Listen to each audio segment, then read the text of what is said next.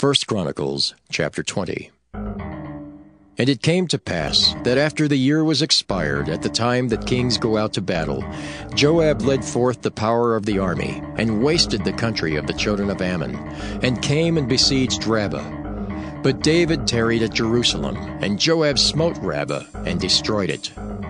And David took the crown of their king from off his head, and found it to weigh a talent of gold.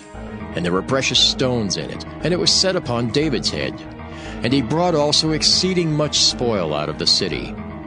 And he brought out the people that were in it, and cut them with saws, and with harrows of iron, and with axes. Even so dealt David with all the cities of the children of Ammon. And David and all the people returned to Jerusalem.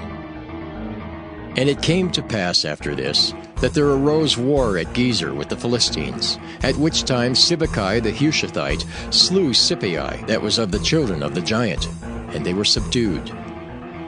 And there was war again with the Philistines, and Elhanan the son of Jair slew Lahmi the brother of Goliath the Gittite, whose spear staff was like a weaver's beam.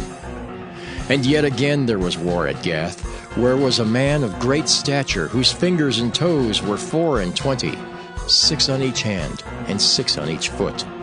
And he also was the son of the giant. But when he defied Israel, Jonathan the son of Shimea, David's brother, slew him.